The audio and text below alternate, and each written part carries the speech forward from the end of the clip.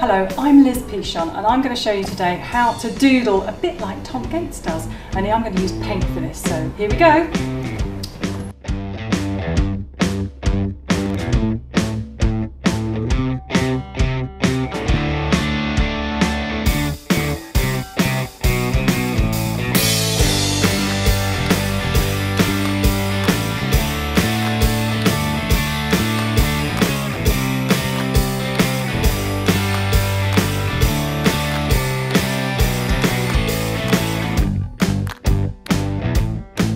Is a bit like do it on the cover of the books. And lots of people often ask me how to draw stars and how to make them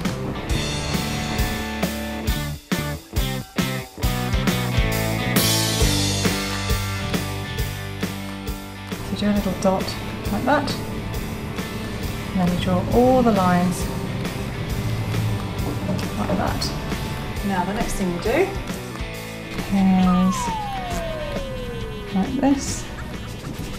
Fill it in. There's a line. Fill those bits in like that.